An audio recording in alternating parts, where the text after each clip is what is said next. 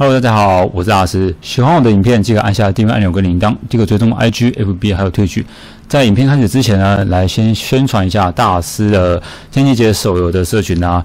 那如果大家对之后天气节手游有兴趣的朋友们，或是观众朋友们，那可以先扫大师的这个手游社群，大家一起来互动讨论。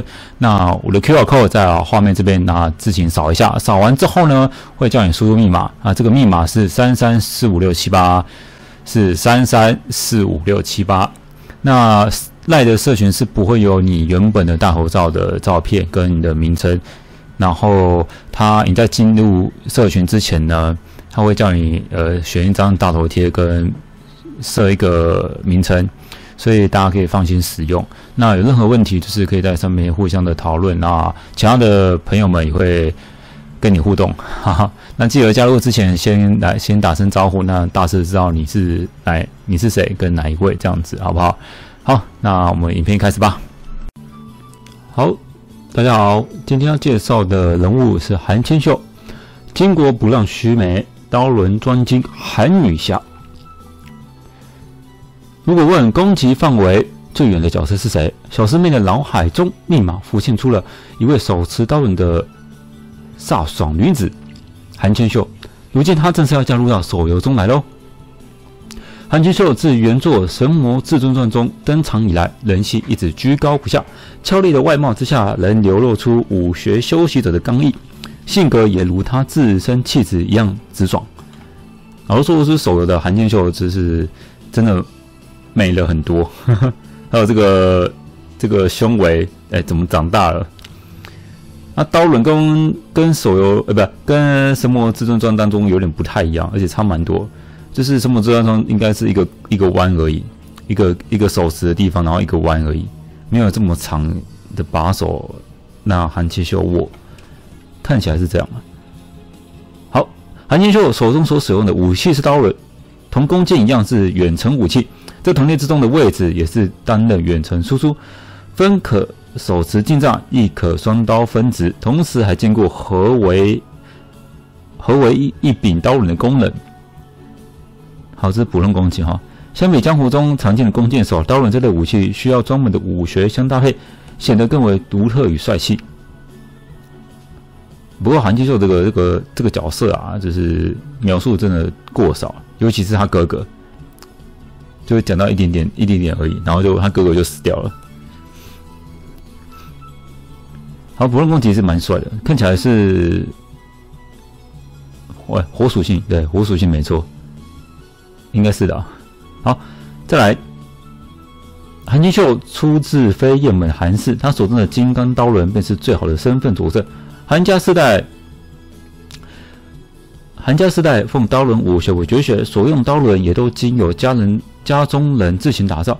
江湖之道，武学传男优于传女。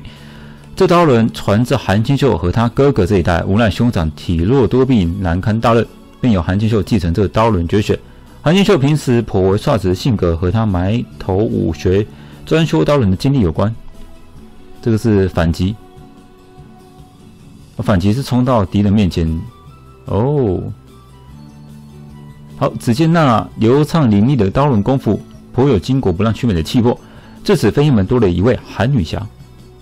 刀轮武艺，刀轮武艺势无双，能取人所及于千里之外，比那弓箭之类要凶悍数倍。但只有一个问题，难练呐。刀轮合成长眼，绿焰此功，创伤肌肤已是常有之事，稍有不慎还可能伤及性命。脚步要轻盈如雨，刀轮要挥舞如风。谈何容易？然后这个图片后面有一个夏侯爷在这里，而正是跨越这些苦难，才成就韩千秀无上的刀刃绝学。一定要将飞燕门的武功发扬光大，成为了成为了他为之奋斗的理想和信念。为了拯救兄长，韩千秀终于踏足江湖。头脑中只有武学的他，受奸人蒙骗。这个奸人就是韩无杀，与殷建平一行人大打一场。大打一场，也正所谓不打不相识。韩千秀也终于幡然醒悟，沉醉于武学的他，还分不清江湖是非，想要表达歉意，或者怀中去见识更多的心思。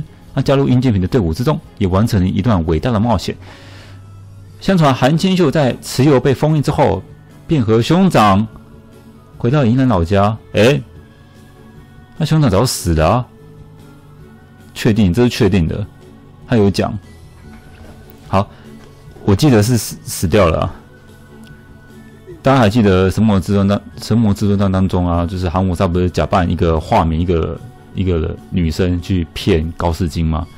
然后就是他其实在吸收，就是诶诶摆阵，然后吸收弟子的那个生魂七魄吗？反正就之类的啊。那我记得他兄长是已经死掉了。没关系，我等下再查证一下。决心将刀轮发扬光大的他，不再独自苦修武学，于是，在练武场上，时不时便能看到他指导师弟师妹的身影。原作中的韩千秀傲人攻击力和攻击距离，外加华丽的刀轮绝学，让人不禁感叹：原来美丽和强大真的可以兼得。而手游中则是完美继承他的优点。老说，韩千秀没什么意见呢，但是他的画风是符合现代画风。然后韩千秀，韩千秀在原呃。单机版当中啊，他的眼睛是偏那种凤眼的感觉，我啦，我自己觉得是凤眼的感觉。然后手游版就是变成一个有点温柔的大姐姐，而且开高叉。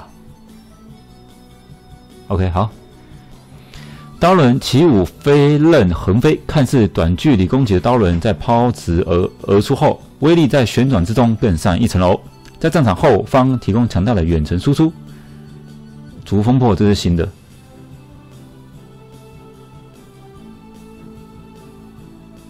OK，好。韩金秀原作经典绝学旋刃卷来，旋转自身形成硕大的硕大的漩涡，将试图包围他的敌人尝一尝被切割的痛快。这可不是一般弓箭手所能做到做到的。而绝学双环应月，则是提供直线型的 AOE 攻击，搭配使用快速进场。啊，旋转卷篮就是在那个单机版当中最强的一招，不过这是改的火属性的。之前是一个飓风，然后你看不出它的属性是什么，然后这个阴签见血在这里，双环音乐，呃，这个就嗯差蛮多了。所有我记得是一个很大的气功波，半月前气功波飞出去，可是这边的双环音乐就变成一个。两呃刀轮就是旋转之后出去，这个气势差了蛮多的。不仅有刀轮武功，韩金秀还习得一手制作火雷的手段，于目标处安置一颗伏火雷，同时增加自身的攻击力，引爆后能对周围的敌人造成大量伤害。合理利用还能有效造成卡位的效果，攻守兼备。哦，这个都是新的了，这是他的特殊技能吧？可是你要去踩到他嘛，对不对？敌人踩到他才会爆炸，给他爆炸会不会伤及旁边的人呢？以上就是韩千秀的角色介绍啦。小师妹还把之前的人物情报整理在下面，下少侠可以选择喜欢的进行了解。如果你还有其他想看到人物，记得在下方评论区告诉我。好，我等下查一下，我觉得他兄长是死的，我回去翻一下我之前录的影片。哎，上面有写，可我觉得那个双环音乐做的有点差。这里兄长这里，我想看一下。好，我找到了，花了一点时间哈，就是在我之前录了影片啊，在第二十《神魔至尊传》第二十幕、二十幕埋伏这一关呢，就是我们主角要再回去四象门找那个灵山老人的那个那个藏宝的地方，然后就遇上韩武沙带人来围攻嘛，对不对？然后这个时候，韩清秀就对韩无沙讲了一句话：“这这一关就是殷建平跟风寒月在大厅之上，然后诶要先打几几个回合之后，队友才会赶来帮忙。”然后韩清秀就讲这句话：“又是你这个妖女，竟然敢自己找上门来！之前被你逃掉，这次我一定要亲手为兄长报仇。”这边已经证实了哈。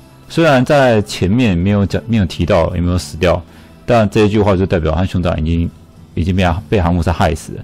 在前面呢，韩韩建秀刚出来登场的时候，他只有讲说家兄是在离离病的弟子当中的其中一个。那离病的会有什么状态？就是体力，就是身材变干干瘦，就被牺牲魂嘛。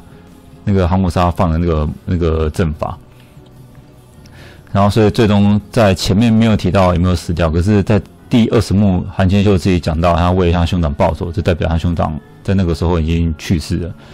好，那 也就是说官方写错了，官方写。持有被封印之后，便和兄长回到林南老家。啊，他啊，那他兄长就已经挂了啊，难道？嗯，有可能他是写错了。但是如果手游当中他的生平介绍有写这一段的话，我一定会回报给他们。这一段就不对啊，有没有？啊，就不对啊。好啦，哎，我没有，我没有，我没有，我没有怎么样，我只是，就是探究真相。我不记，我没有记错，对啊，OK，好啦，就这样子。那我这边的影片会放在底下连接，哎，底下资讯栏，哎，连接了，反正我就放在底下，大家可以去看一下，好不好？那谢谢大家这集的收看，喜欢我的频道记得按一下订阅按钮跟铃铛，一个追踪 IG、FB 还有萃取。那谢谢大家喽，拜拜。